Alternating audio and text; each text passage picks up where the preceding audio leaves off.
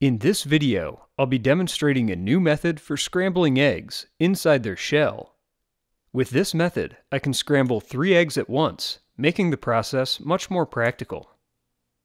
I created this specifically for the task, a short length of 2 inch pipe with a loop of string on either side, one of the two loops having a handle. Three eggs are placed into a hand towel and rolled into a cylinder to protect them. The eggs are then pressed carefully into the tube.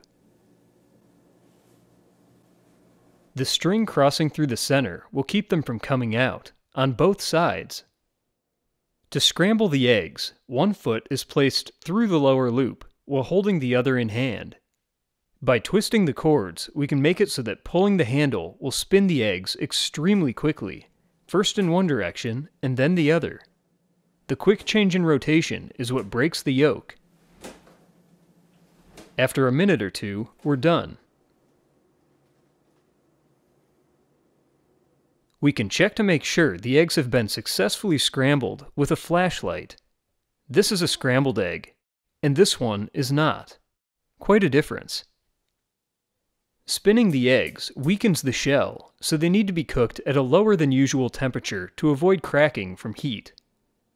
With water brought to just below boiling, the eggs can be gently lowered in and left to cook for 12 to 15 minutes.